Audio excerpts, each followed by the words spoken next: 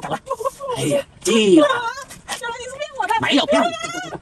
哎呀，上上面的银行很多鱼的，又有又有黄鳝，又有泥鳅。我不是，我不是，走了，我不我不我不会抓黄鳝，我不会不做抓。黄鳝也行了，我们去聊聊人生。我不要。哎呀，我想想到我明天我韩国节做新郎官，我都办完我就难受。我不会聊。哎呀，聊一下吧。